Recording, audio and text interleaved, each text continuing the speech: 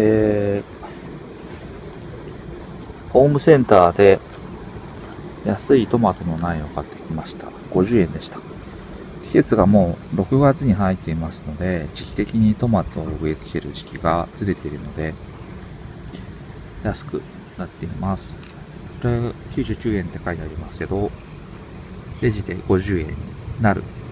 苗でした。と徒長していて、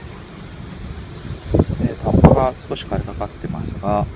芯は結構元気で花も咲いています。で、えー、ここに巻き芽が出ていて、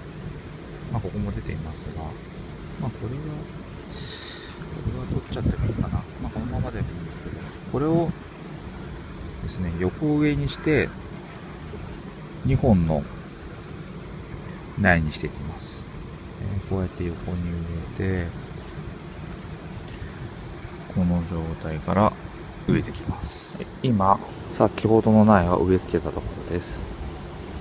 これがね、えー、本体の苗が一番前に出てきたところで、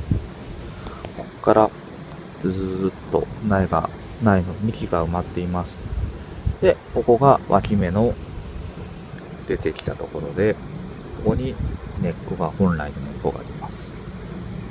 えっ、ー、と、トマトの木というか、トマトは、こういうところが地面に埋まれば、ここから根っこが出てくるので、横内、横上にして植えてあげると、こういうところが根っこが出てきて、栄養分をさらに吸うことができます。なので、こういう植え方でも十分に育てることができます。